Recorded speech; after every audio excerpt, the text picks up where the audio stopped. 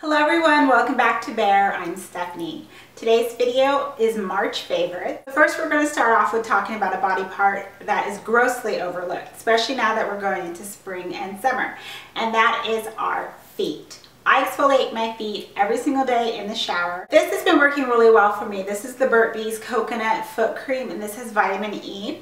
So after I exfoliate my feet, I go ahead and apply just a small amount in. This tube, it's a very concentrated cream. It does smell like coconut. I think coconut is probably, I think, the fourth ingredient down the list. And it's really nice. It says it's 99.4% natural. This has been really working well to keep my heels nice and soft. This for me would definitely be a repurchase. Primer that I'm using up a lot is by CoverGirl and this is their TruMagic Skin Perfector. This comes in a compact. So what I do is I just, with my clean fingers, I will just go ahead and get some on my fingers and I start to smooth it out onto my face. I tend to reach for this product definitely on the days when I'm not wearing any makeup. It's just to keep my face matte because I just never know if I'm gonna have to go run a quick errand.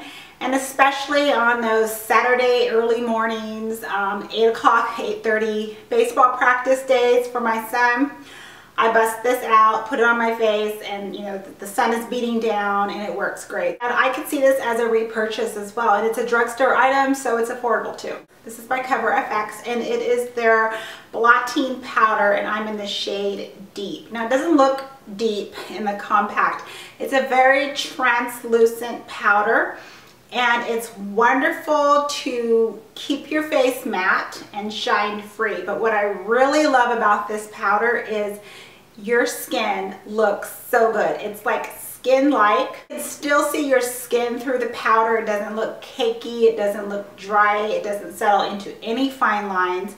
And to be honest, this powder photographs very well. This powder is used a lot on movie sets, you know, with the lights coming down and it's really high temperature. And Cover FX is, I believe it's a vegan brand, but you know, the, the products are um, gluten-free. So you're not gonna have anything disturbing on your skin, no harsh ingredients, and you're not gonna have any breakouts. Contour kits. Now, there is a contour kit everywhere you turn. I am absolutely in love with this cream compact and I just I can't keep putting it down and I really do love it. It's by Stila and it's their two pan contour kit. So it's very simple. You have one side that is your contour color and your other side that is your highlight. The fact that it works exceptionally well, put that aside. It dries to a powder finish. You don't have to put anything else on top of this unlike other cream products to set it. So for that reason alone, this will always stay in my kit. It is unbelievable. It's so easy to blend out. There's no shimmer in these products as well it shouldn't have any shimmer in it. And it's just, it's so natural. It's a natural contour and it's a natural highlight. So I feel everybody can appreciate this and, and there's no reason to feel afraid of it. Now, two tools I recommend to use if you don't have anything. The Luxie angled brush is really well, synthetic or any type of an angled synthetic brush that you have. You can blend out your contour very well with that type of a brush.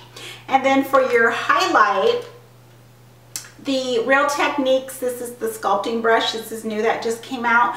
This is a great brush to blend in your highlights. So to make your triangle, wherever you highlight on your face, this brush is very good to blend that into your skin. Again, I'm in the color deep. There's light, there's medium, so there is a shade for everybody. This one is by MAC, and this is their shaping powder. Shade that I'm specifically loving is in the shade Warm Light. This has a it's not coming out as peach as it, it is in real life. It has a peach undertone to it. So if you are my skin tone, if you have deep skin, if you are warm tone, if you are olive complexion or olive tone, golden, warm light will work very well for you. I use the shaping powder to set my under eye concealer. This sets any type of concealer that you put underneath your eyes. It will not crease, it will not budge. And the best thing about it is, is the shaping powder actually adds like this soft effect to it. Like it looks like you have like a, like this beautiful light that's underneath your chin and it's just beaming this perfect temperature of light underneath your face. That's the effect that this gives. That's that soft focus effect. It sets well, but again, it gives that warm glow to your skin. Next is a lipstick that I'm actually wearing right now, and this is from Hard Candy. I love Hard Candy's lipsticks. I would say the lipsticks are probably, other than the Tiki bronzer, those are the only two items from that line that I love. I love the lipsticks. And this is the ombre lipstick, and this is in the color Modesty.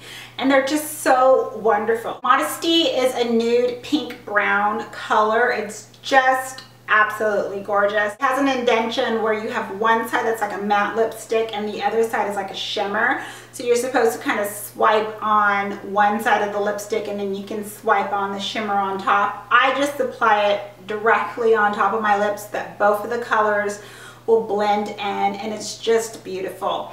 Um, I like Modesty, I like Practical, which is like a pink based lipstick, but Modesty is what I'm really um, seem to grab the most of, especially if you're doing any type of a little bit more of a dramatic eye look. This is just perfect for that like pinky brown nude lipstick. So we've been talking about all this makeup. Now let's talk about stuff to get it off the face. So the first item is by the brand Simple, and this is their Cleansing Micellar Water. What I love about this cleansing water is A, it's very affordable. B, I love to put it on when I don't have any makeup on. So I'm about to hop in the shower at night, I'll put it on with a cotton pad and it takes off any sunscreen, any dirt on my face before I wash my face. And you can actually see it on the cotton pad. So it's great. I know it's breaking down whatever's on my face. If you're a person that doesn't like to use toner, this is great to just go ahead and right after you wash your face, put it on your face with a cotton pad. It will just get rid of any type of extra residue or whatnot you might have on your face. It's not going to irritate your skin. It's not going to change the pH balance of your skin. It's just great it's a great cleansing water to really, you know, do what it needs to do on your face. So I really like it. And it's like what, four or five dollars at the drugstore and it's sold, you know, wherever simple products are sold. This cleansing oil, this is a travel size version from MAC. This is their cleanse off oil. Now I have to admit I did write this off the first time that I used it for the sole reason I'm used to using thicker texture oils to remove my makeup and this oil is very thin. But what I noticed is when I would tone my face I would still have extra contour or bronzer just around the perimeter of my face. So I was using the Simple Water to get, you know, extra product off my face. Then I said, okay, I'm to go back and use up this oil because I'm just not to let it sit there. I, you know, my goal is to use up my products. So I went back, I used this, I focused on, you know, the neck area, wherever around my hairline, got in the shower, washed my face, came out, put the toner on the cotton pad, and I mean, there was nothing on that cotton pad. No bronzer, no contour, nothing. So that told me that this oil is getting all my makeup off. I got over that whole texture issue real quick. I don't want any makeup on my face before I hit that pillow. I'm back to using it now almost done with it and I will be purchasing a full size bottle. So again, this is the MAC Cleanse Off Oil. And last item is you can use as a facial spray or you can use like as a toner. I use it in various manners and this is by Mario Badescu and it's the facial spray with aloe, herbs, and rose water. I'm also almost done with this. You can use it to refresh your makeup. You can use it, you know, you can spray it on your beauty blender if you're not near a sink and start applying your foundation. Um, I also like to use it like if I'm traveling if I if I didn't pack toner I can just spray it on my face. It gives me the same effect. It can take off any type of residue. It refreshes my skin. There's lots of ways to use this. Now as we're going into summer if you have a sunburn and you're out in the sun spray this on. It really will calm your skin down because it's you, you know your skin is still cooking after you are experiencing a sunburn. There's so many uses to this product. Those those are all my favorites for the month of March. I would love to know what you have been using up this month of March.